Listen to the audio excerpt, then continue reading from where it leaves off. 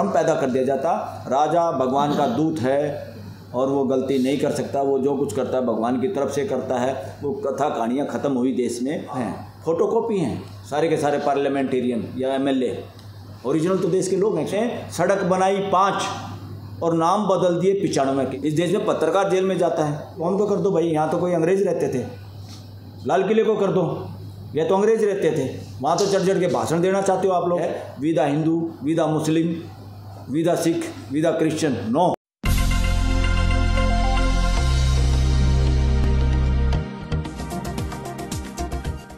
कोशिश की है, जैसे नाम बदल दिए एक तो नाम बदलना अपने आप में बिल्कुल मज़ाक और बहुत छोटी सोच का परिणाम है ये। इस देश के कितने लोग हैं जो हिंदी से वाकिफ़ नहीं हैं, इंग्लिश इंटरनेशनल लैंग्वेज हो गई है, भाषाएँ किसी की बपोती नहीं होती, ये बिल्कुल नहीं है। कि हिंदी ही होगी तभी ये देश विकास करेगा।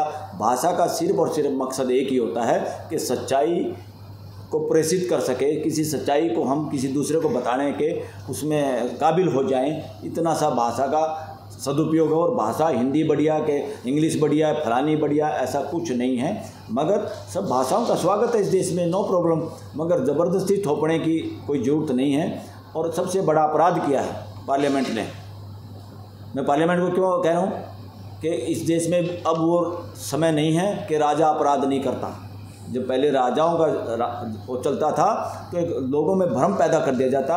राजा भगवान का दूत है और वो गलती नहीं कर सकता, वो जो कुछ करता है भगवान की तरफ़ से करता है। वो कथा कहानियाँ ख़त्म हुई देश में। That was nonsense in the past और पास्ट की हिस्ट्री है। तो पार्लियामेंट जो काम करती है, वो लोगों के प्रतिनिधि हैं। लोगों के प्रतिनिधि अगर काम ना करें जो देश चाहता है तो यानी आपके ओरिजिनल तो आप हैं फोटोकॉपी हैं, सारे के सारे पार्लियामेंटेरियन या एमएलए ओरिजिनल तो देश के लोग हैं, एक सौ चालीस करोड़, उन्हीं की फ़ोटोकॉपी है वो। वो फ़ोटोकॉपियाँ सही काम कर पाएँ या डिबेट कर पाएँ, उनसे पूछने का ड्यूटी भी बनती है पूरे देश के लोगों की, कि आपने ये कानून इतनी जल्दबाजी में क्यों पास किए? इस देश में आम सभ्यता संस्कृति की बात करते हैं कॉलोनियल ईरा की बात करते हैं कॉलोनियल ईरा में अपनी सरकार चलाने के लिए उन्होंने कानून बनाए थे। उसके बाद पिचहत्तर साल में सुप्रीम कोर्ट ने, हाई कोर्ट ने बहुत बदलाव किए हैं और नए टेक्नोलॉजी के साथ भी, काफ़ी सुप्रीम कोर्ट की गाइडलाइंस की वजह से भी बहुत चीज़ें शुरू हो गई इस देश में। और होनी भी चाहिए, उसमें कोई बुराई नहीं है, उससे कोई मना नहीं करता। मगर आपने सड़क बनाई पाँच और नाम बदल दिए पिचानवे के। ऐसा ही हुआ है, पिचानवे परसेंट वही कानून है। जिसको एक कॉलोनियल एक्ट कानून कहते हैं, उसके बाद तो इस देश के लोगों ने योगदान दिया, वकीलों ने योगदान दिया, कोर्टों ने योगदान दिया, उन्हें परिवर्तन हुए उन कानूनों में, उन कानूनों के हिसाब से नाम रख लिया अपना। ये चोरी है। यूजीसी की भाषा में और अकेडमिया की भाषा में चोरी प्लेजरिज्म है। जो दूसरे का माल, दूसरे की कथा कहानी लेके नीचे अपना नाम लिख दे राइटर में हूँ। तो ऐसे लोगों को तो सज़ा मिलती है। तो पार्लियामेंट के लोगों ने ये चोरी की है और ये गलत किया है और नाम बदल के उनका सेक्शन बदल के जो अपराध किया है, आप ही अपने घर के रोज़ कमरों के नंबर बदल दो। आपका बच्चा सोता है एक नंबर कमरे में, आज उसको तीन नंबर कर दो। तो बच्चे को कहे, आज तू तीन नंबर में सो जा। बोला, तीन नंबर तो ये था, मैं तो इसी में सोता था। ये तीन नंबर कैसे हो गए? तो एक नंबर था। तो ये नॉनसेंस इस तरह की करने की ज़रूरत नहीं थी। ये किसी ने सलाह दी और किस वजह से ये किया गया, ये कोई बैंक माइंड ही काम ये कर सकता है। देश के लोग या बुद्धिजीवी लोग, समझदार लोग ऐसा काम ही नहीं कर सकते, इसलिए इस पर बहुत प्रसन्न चिन्ह है और पुलिस को काफ़ी पावर इसमें मिल गई है। पुलिस से तो पहले दुखी हैं लोग। दिल्ली में भी आप पढ़े लिखे आदमी, आप भी जो पत्रकार लोग हैं, अकेले की हिम्मत नहीं आप लोगों को भी। कभी थाने में जब आपका खुद का मामला हो, अकेले चले जाओ, आप भी सोचते हैं दो चार साथी मिल जाएँ और साथी ना मिल जाए, कोई वकील ही मिल जाए काले कोट वाला। तब लोगों में हिम्मत आती है। तो बाकी देश का सोचिए आप क्या हो रहा है। इस देश में पत्रकार जेल में जाता है। काफ़ी कुछ अच्छा काम करिए सुप्रीम कोर्ट। नो प्रॉब्लम मगर जितना तीव्र गति से होना चाहिए we have problem with the supreme court and high court of this country अरे भाई, दो आदमी बदमाशी करें, दो अंग खराब हो जाएँ पार्लियामेंट भी नारे लगाती रहे, किसी के भी एक्स वाई जेड के। एक आदमी बोलता है तो उस पार्टी के लोग नारे लगाते हैं उसके। दूसरा बोलता है तो दूसरे पार लगाते हैं। मिल के कोई ना नारे लगाते, ना मेज थपथपाते, ऐसा कर दिया पार्लियामेंट का यदि युद्ध क्षेत्र हो। और नॉन सेंस हो रही देश में। ये ट्रेजरी बेंच है, ये अपोजिशन बेंच है। देश के संविधान में कोई अपोजिशन और पोजिशन का ज़िक्र नहीं है। ये सारी की सारी खुरापात पॉलिटिशियन ने की है। इसको ख़त्म करने की ज़रूरत बहुत देशों में ख़त्म हो चुका है। लोग अल्फ़ाबेटिकली बैठते हैं पार्लियामेंट में, क्योंकि because we all are representative of the people और हमारा एक हाउस है। सदन का एक नेता प्राइम मिनिस्टर के रूप में जाना जाता है। प्राइम मिनिस्टर इस देश का मालिक नहीं है। एक हाउस का सदन का नीचे स्टेट में सीएम हो जाता है, वो मालिक नहीं है। ये गलत फहमी होगी इन लोगों को, जब से ये शब्द नहीं बदलने पड़ेंगे, इनको करना तो चाहिए था ये कि गवर्नमेंट का हिंदी करते व्यवस्था। और प्राइम मिनिस्टर राष्ट्रपति फलाने, इनको बदलते हैं। इनको अगर डेमोलिश करना तो राष्ट्रपति भवन को कर दो भाई, यहाँ तो कोई अंग्रेज़ रहते थे। लाल किले को कर दो, ये तो अंग्रेज़ रहते थे। वहाँ तो चढ़ चढ़ के भाषण देना चाहते हो आप लोग।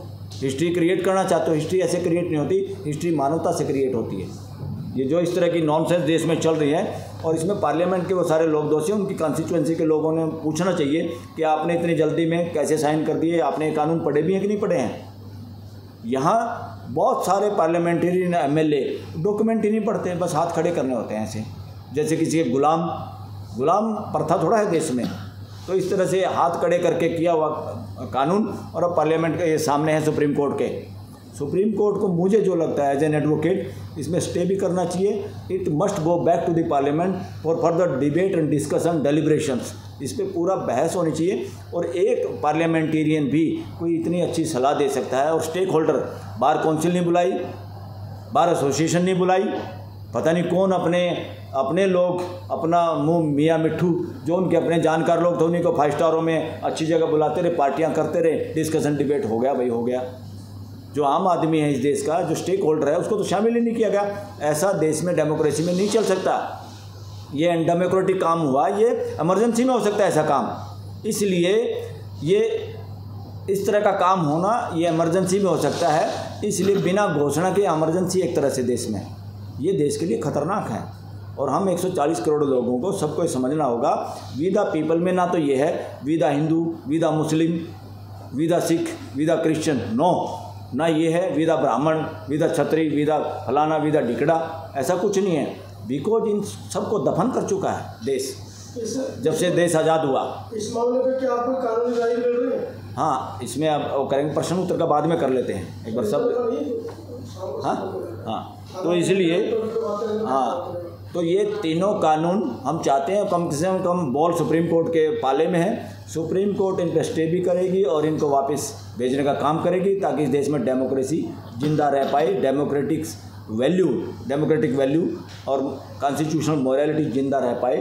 और इसमें आप सब की भागीदारी, देश के सभी लोगों की भागीदारी, क्योंकि जब तीनों अंग फेल हो जाएँ, सुप्रीम कोर्ट भी अगर फेल हो जाए तो people of this country are more supreme than the supreme court of India people of this country are more supreme than the parliament of this country people of this country are more powerful and great than the prime minister C M of the states of this country ये ध्यान रखने की ज़रूरत है देश के लोगों को। आप ही हैं, जो कुछ है। Thank you